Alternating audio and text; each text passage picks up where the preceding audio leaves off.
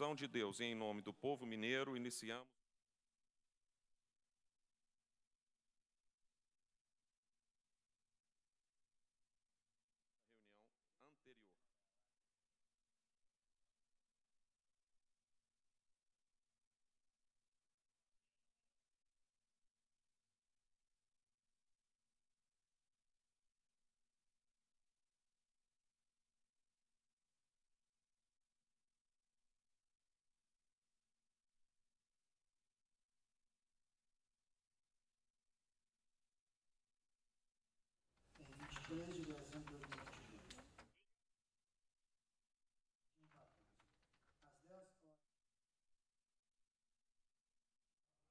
Presidente declara aberta a reunião. Deputado Oswaldo Lopes, subsecretário Adolfo, processo é aprovado sem restrições. Nos termos do edital de convocação, Olá, uma boa noite para você que nos assiste pela TV Assembleia. Agora são 6 horas e 16 minutos. Nós falamos ao vivo, direto do plenário da Assembleia Legislativa aqui em Belo Horizonte. A gente interrompeu a programação da TV Assembleia porque acaba de ter início aqui no plenário a reunião extraordinária desta segunda-feira, dia 26 de dezembro de 2022. Me acompanha nesta transmissão o meu colega Heitor Peixoto, jornalista da TV Assembleia. A reunião foi aberta pelo presidente da Assembleia, deputado Agostinho Patrus. E neste momento, o deputado João Magalhães lê a ata da reunião anterior. Vamos acompanhar os trabalhos. Levanta-se a reunião. Com a palavra para discutir a ata, deputado Alencar da Silveira Júnior. Senhor presidente, senhores deputados, companheiros e amigos que nos acompanham pela TV Legislativa, essa que nós criamos há 24 anos atrás. Né? Antigamente não tinha internet e a gente tinha que acompanhar as sessões pela TV Assembleia. Hoje a internet está aí, WhatsApp, rede social. E quando eu vejo uma ata que coloca a paralisação da última reunião, de três horas para depois do encerramento, eu vejo que nós estamos com uma parada, uma falta de diálogo, uma falta de, de acertos. Eu estou vendo aí uma, um projeto, uma emenda constitucional passando o orçamento, senhor presidente, de 1% para 2%. O deputado pode indicar. Eu sempre fui contra as emendas parlamentares, eu quero deixar bem claro isso. Falei nesse plenário várias vezes. Nesses 27 anos que eu tenho aqui, eu sempre falei de um amigo, deputado de Detroit, quando nos Estados Unidos ele colocava para mim, morou no, muito tempo no Rio Grande do Sul, é, trabalhou no Rio Grande do Sul e ali chegava falava, deputado Alencar, eu não consigo acompanhar no Brasil. O Brasil, é, os deputados têm que acertar hospital, asfalto, isso, aquilo, outro. Aqui não. Aqui a gente fiscaliza o orçamento. Mas a gente faz um orçamento de faz de conta no Brasil. Olha que vários anos eu coloquei, por exemplo, a, uma emenda para colocar o asfalto de Ouro Branco, a Itabirito, Itabirito, a, a Rio Acima. Os anos passaram, foi, voltou, foi, voltou, ficou no orçamento e nunca foi feito. A gente sabe perfeitamente que o governo faz o que quer. E quando a gente tenta passar de 1% para 2%, nós vamos ter 100% de, de, de aumento nessas emendas que são colocadas, e eu quero só lembrar a todos os ouvintes, telespectadores e deputados, que vamos analisar agora o que a Assembleia está querendo nesse momento. Está querendo uma independência maior, está querendo uma, um, um acerto, porque nós sabemos aonde tem a necessidade. E aqui eu quero colocar e eu lembrava hoje do deputado Douglas Mello como está parado o hospital lá de Sete Lagoas. Com mais 1% na saúde, nós vamos lembrar, são 15 milhões na saúde. O deputado Douglas Mello pode colocar no hospital para acabar o hospital de Sete Lagoas, que está na promessa tem muito tempo. Nós temos que, por exemplo, eu estou fazendo uma emenda no próximo, liberarei um recurso para o Hospital de Alfenas, onde que tem que trocar as máquinas de hemodiálise, vou trocar só três ou quatro máquinas, porque eu só tenho recurso. Se tivesse maior número na saúde, com certeza Alfenas, o hospital, teria maior número de máquinas de, de, de da hemodiálise. Na cidade de Quatagazes, tudo parado, tudo ruim, as máquinas péssimas, é para ali que vai. Agora, quando você vai passar, pede o governo, vamos trocar, ajuda, ajuda a trocar. Não vai. E eu quero lembrar, quando a gente fala que 50% das emendas vão para a saúde, é na saúde que nós vamos resolver o problema de vários hospitais, de vários municípios. Nós sabemos, por exemplo, e lá no seu, nós temos que fazer uma nova sala para um equipamento novo que chegou, de tomografia, e não tem ainda. Nós temos que construir, e a prefeitura não consegue construir, ajudar o hospital. Gente, nós estamos aqui mostrando a valorização do poder. Um poder legislativo que foi valorizado nessa legislatura, sim, pelo presidente, que aqui está, Agostinho Patrus. E quero lembrar que hoje, na saída do Agostinho, indo para o Tribunal de Contas, beneficiado ele não vai ser em nada nessa casa. Não é ele que vai fazer indicação nos próximos anos, na saúde, na educação.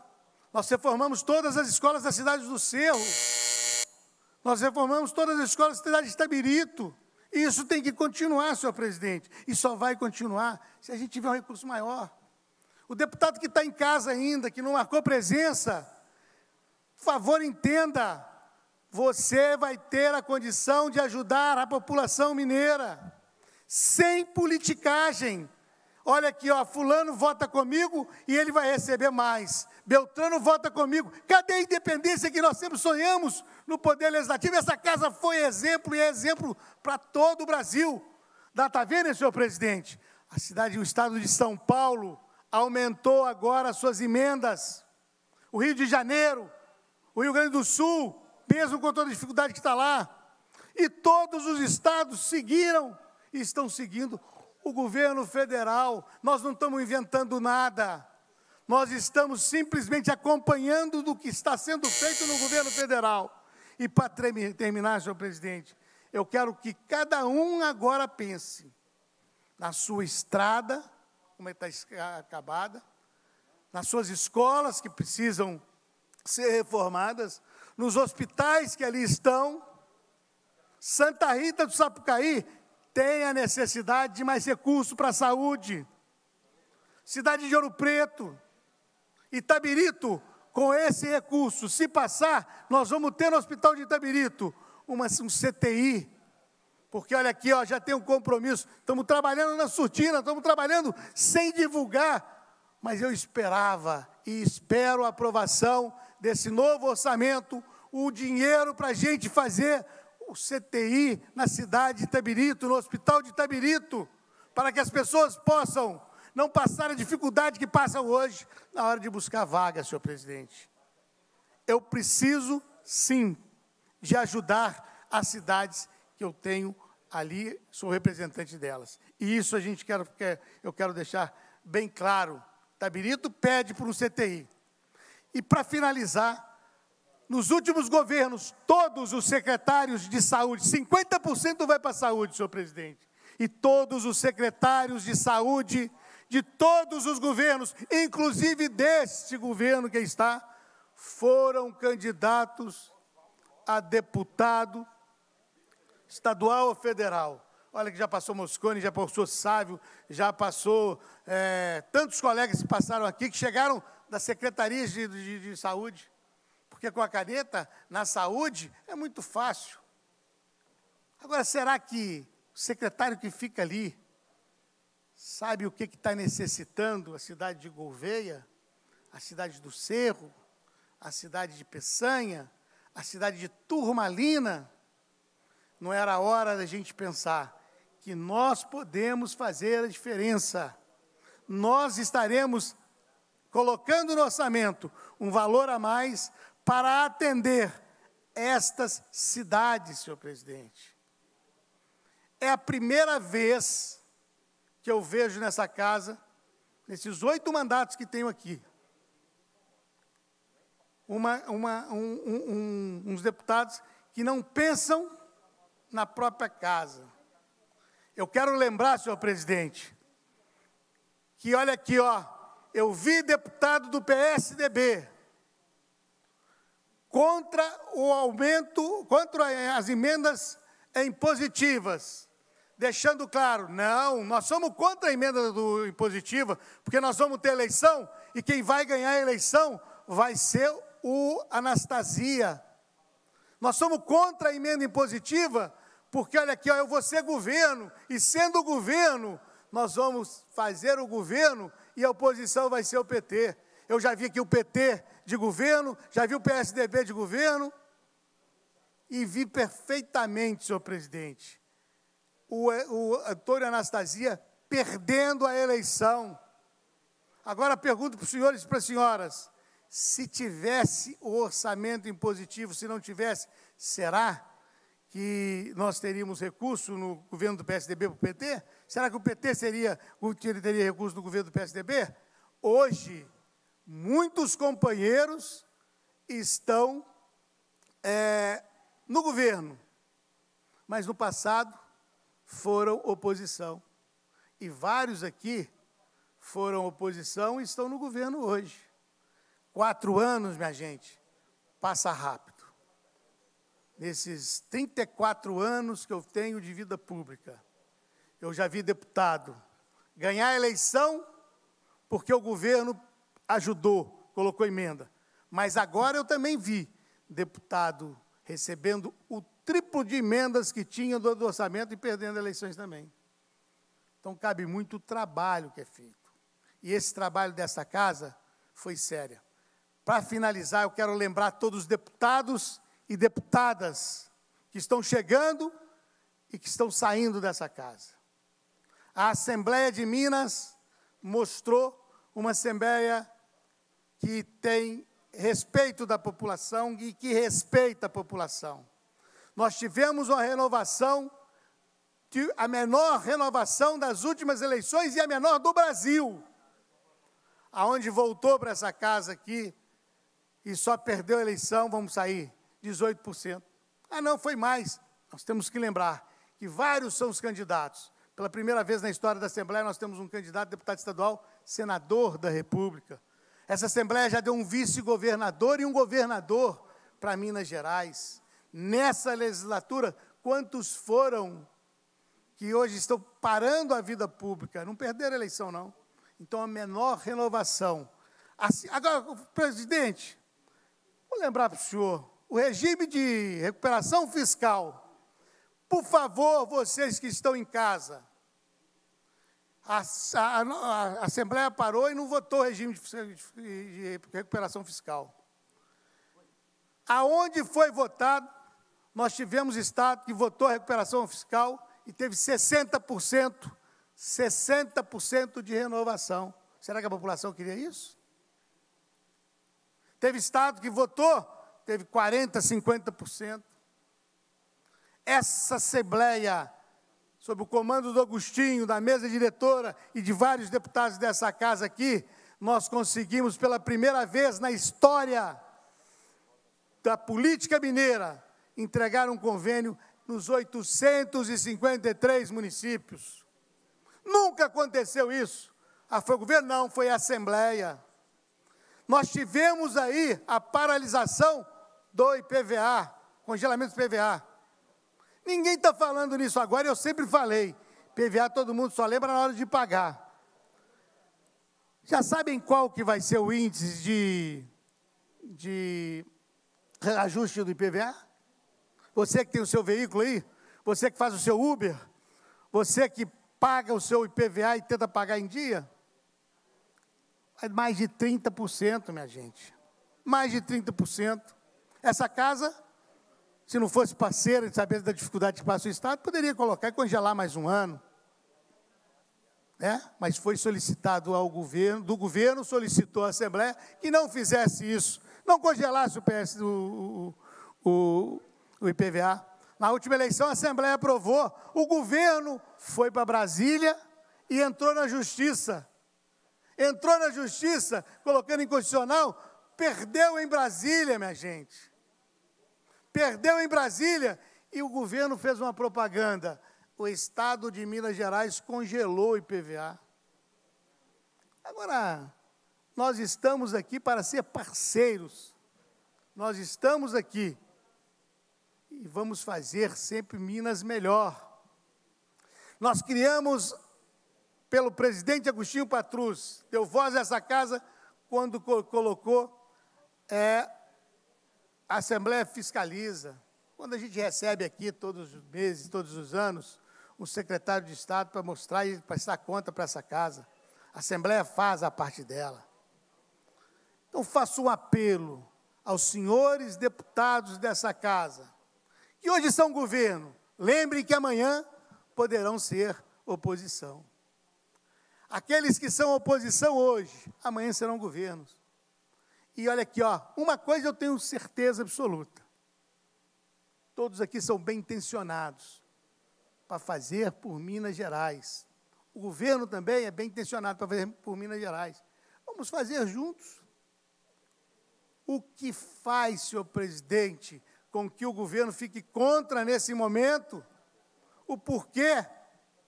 O dinheiro vai para a população, o dinheiro vai para dar recurso para as cidades, para os hospitais, para as creches, para as entidades. Quantos são as creches que estão fechando por falta de recurso? Quantos são, quantas são as cidades que passam dificuldade?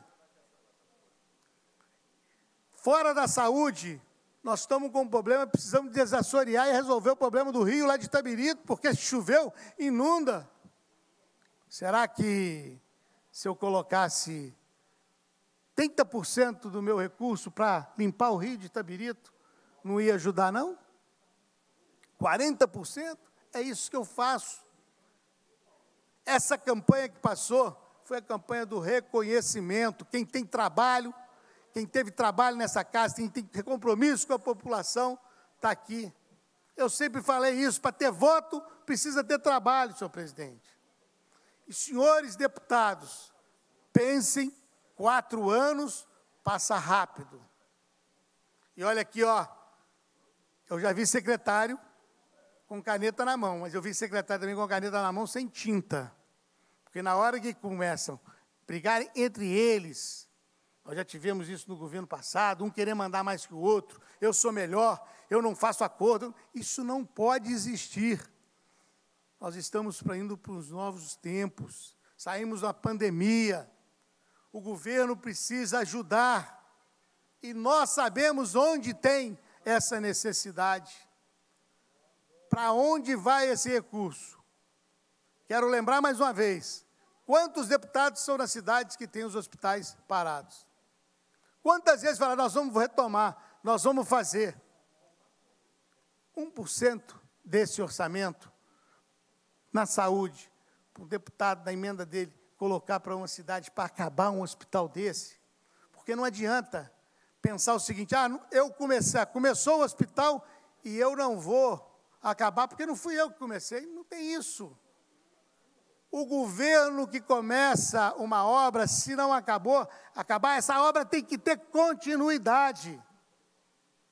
Quando eu volto e lembro aqui do IPVA também, se o dinheiro do IPVA fosse usado para o sistema viário no Brasil, em Minas Gerais, dinheiro que é arrecadado do IPVA vai ser aplicado no IPVA, no sistema viário, com certeza nós teríamos uma condição e um trânsito melhor, um sistema viário melhor. Mas não, pega o dinheiro do IPVA e vai fazer isso, aquilo, paga folha, paga aquilo, paga aquilo outro. Então está na hora. Senhores deputados, senhoras deputadas, nós temos que imaginar que a hora é essa. Nós podemos fazer a diferença. Nós podemos ajudar muito mais. Nós sabemos, nós, os 77 deputados, que pega o prefeito, pega o, o provedor do hospital, pessoal da PAI leva lá no governo para pedir recurso. Aí eles olham assim e falam assim, ó, você não é do governo, então você não vai receber. Ah, você é do governo, você vai receber. Então, nós estamos dando essa condição para que todos os, os senhores, senhoras, atendam cada um dos municípios. Cada um dos hospitais, creches, asilos. Está na hora de colocar água quente em todos os asilos, um programa. Não está na hora de ajudar o esporte? Tivemos uma seleção brasileira aí, foi do que foi. Quantas as pessoas são os jovens que querem hoje ingressar no futebol? Será que não falta uma, uma condição melhor nessa Secretaria de, de Esportes?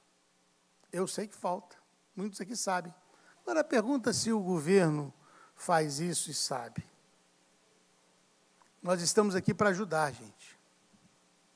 Nós estamos aqui é para somar. Nós queremos uma condição de ajudar quem pede, de ajudar quem tem necessidade, de ajudar quem precisa, muitos deles para sobreviver. E, senhor presidente, eu gostaria de parabenizar Vossa Excelência pelo trabalho esses quatro anos nessa casa. Tive a satisfação de estar ao seu lado, na mesa diretora, ao lado do deputado Tadeuzinho, ao lado de tantos outros que passaram é, nesse mandato. Sei perfeitamente do que foi feito. Vejo que Vossa Excelência, como seu pai, que tive a oportunidade de estar lado a lado com ele, criando a entidade que hoje representa 1.059 deputados no Brasil inteiro. E foi através do deputado Agostinho Patrus que nós demos início a essa entidade. Essa entidade que faz pelo legislador, faz pelos deputados, da condição, da toda a, a, a condição de fazer um bom mandato. Com seu pai, eu tive ali. Ele deu essa condição para todo brasileiro, para todo deputado brasileiro, para todas as assembleias. A Assembleia de Minas sempre foi o exemplo. E Vossa Excelência deu para essa Assembleia uma independência. Mesmo quem é oposição ao Agostinho, mesmo quem, quem fala, ah, Agostinho não faz isso, não faz aquilo, não faz aquilo, não faz por quê? Porque tudo que foi feito, ele ainda pode tirar o chapéu e falar o seguinte: ele não faz ou não fez para mim, mas fez para o povo mineiro e fez pelo legislativo estadual. Por isso que eu acho que essa casa deve sim e vai sentir falta de Vossa Excelência. Vai sentir falta dessa independência que nós temos. O que nós sempre sonhamos. Porque eu, eu, só lembrar, esses, no oitavo mandato que eu estou indo, o, o, o, o líder do governo sentava ali na frente e falava: deputado de governo não discute, deputado de governo vota. Levanta e senta na hora que ele banda, porque senão ele não recebe as emendas. Deputado de governo aqui, se quiser arrumar 100 milhões, vai ter que fazer tudo que o governador manda. Mas nessa legislatura começou a independência eu tive 60.283 votos.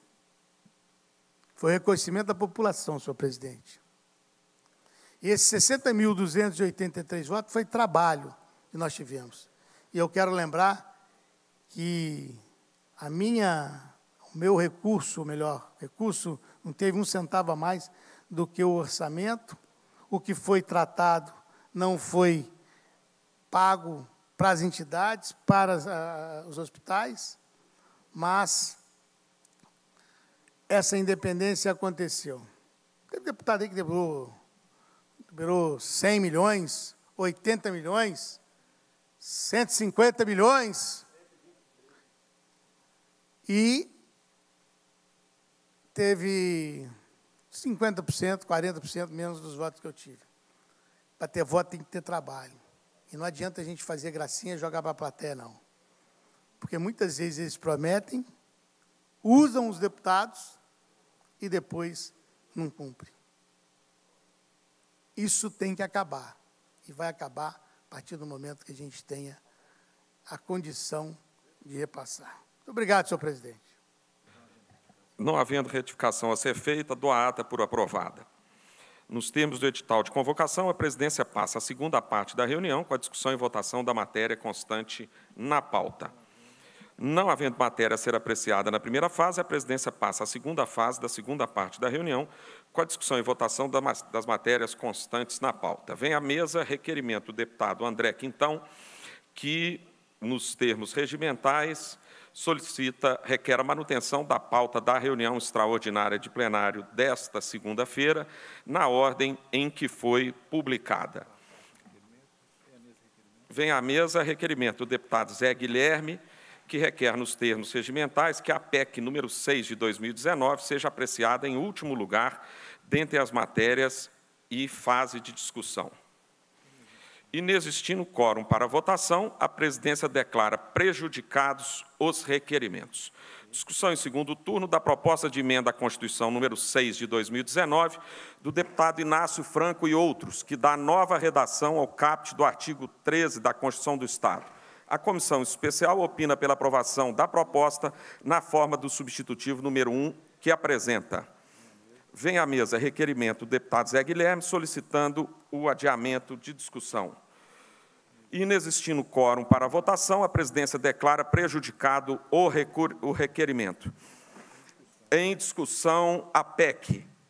Com a palavra para discutir, deputado Guilherme da Cunha.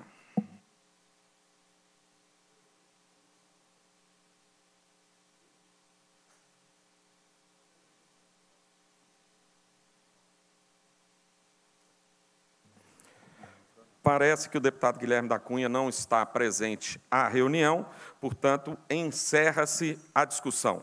A presidência verifica que não há quórum para a votação da PEC e passa, portanto, ao, ao projeto de lei, discussão em segundo turno, do projeto de lei de número 4.115 de 2022, da mesa da Assembleia, que regulamenta o disposto no artigo 61.20 da Constituição do Estado a mesa da Assembleia opina pela aprovação do projeto na forma do substitutivo número 1 que apresenta.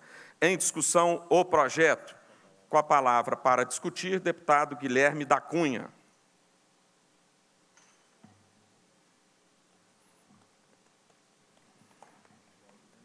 Na ausência do deputado Guilherme da Cunha, a presidência encerra a discussão.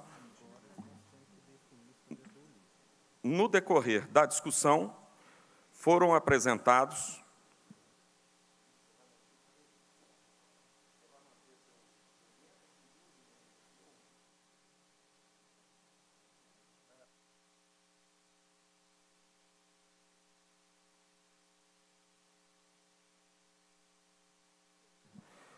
No decorrer da discussão, foram apresentadas ao projeto duas emendas.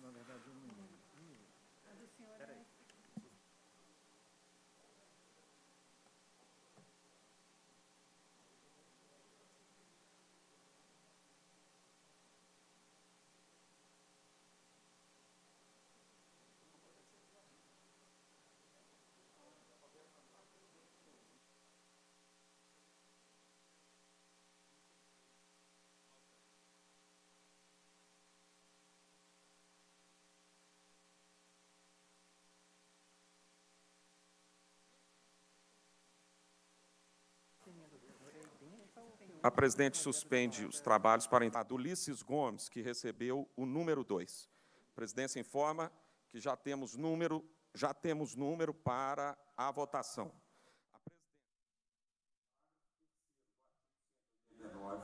combinado com o inciso segundo do artigo 173. Agora são 7 horas e 11 minutos, estão retomados os trabalhos aqui no plenário da Assembleia. Vamos acompanhar a reunião. Nos termos do inciso 3 do artigo 173 do Regimento Interno, a presidência deixa de receber também a emenda número 2. A presidência vai submeter a matéria à votação pelo processo nominal, por meio da plataforma do Sileges. Em votação, substitutivo número 1. Um. Em votação.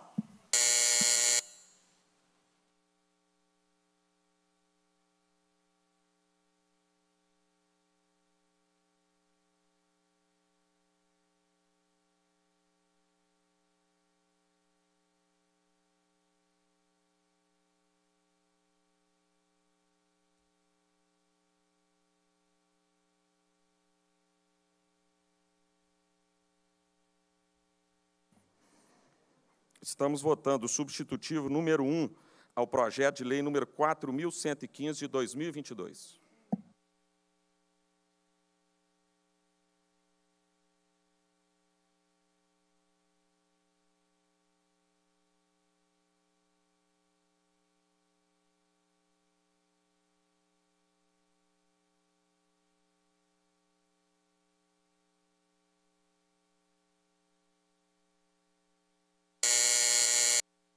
A presidência vai proceder à segunda chamada de votação. Em votação.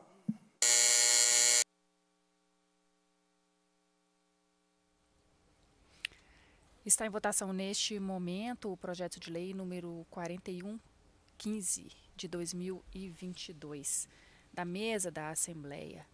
Esse projeto de lei trata do subsídio dos deputados estaduais e atende à Constituição do Estado, que determina que é competência da Assembleia fixar esse subsídio do deputado estadual.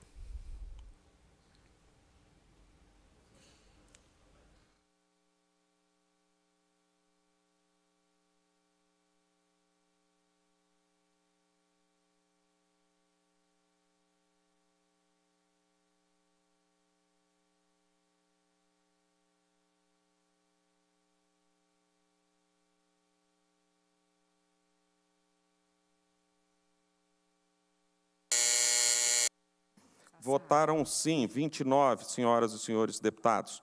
Votaram não três deputados. Como tem presença de 42 parlamentares, está aprovado o substitutivo número 1.